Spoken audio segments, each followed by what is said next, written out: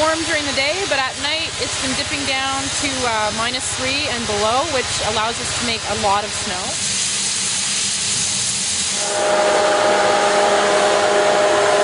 Beginner packages where you can get your rental, your lift ticket, and uh, your lesson for a really good rate.